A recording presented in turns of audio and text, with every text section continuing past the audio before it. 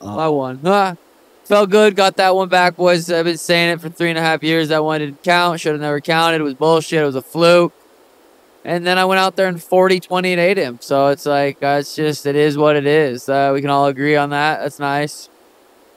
Yeah, and and all the people that are like, man, he's gonna gas out in, in, in five rounds. He's gonna gas out. Literally put the pace on him and actually just broke him. Physically broke down his body. Stayed at range the whole time, or was making him guess the whole time. He couldn't set up any of his his KO shots that he set up on these other guys. It almost like it made him look.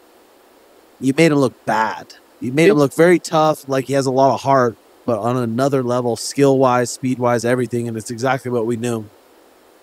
Yeah, people are saying it's the Moutinho 2.0, uh, so that's good. It was so weird, and I was telling you this the other day. I never told anyone that. When I was leading up to fight week in the fighter hotel, it was the COVID hotel. I was reading the Striking Thoughts book, the Bruce Lee one, and I read this thing that made it was some. I don't know if it was like about losing or about something about.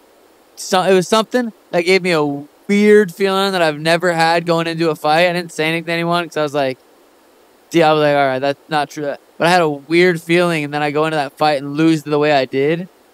I was like, what the fuck? That was so weird. But then this fight just felt so fucking confident that everything just was gonna go fucking so perfect.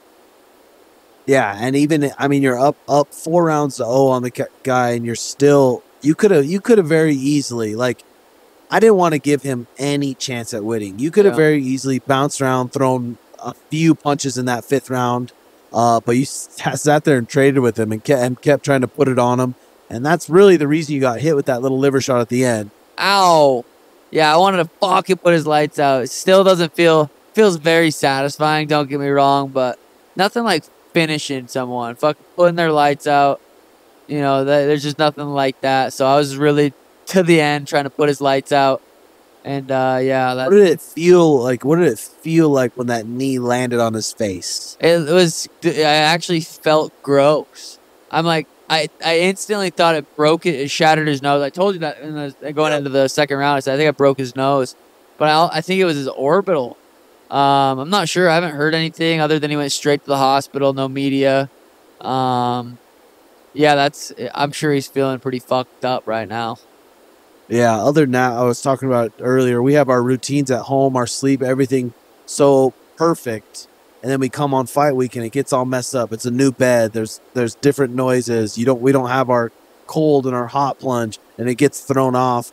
But uh we just got our own fight week dialed though. Fight week schedule routines. It's fucking just so dialed.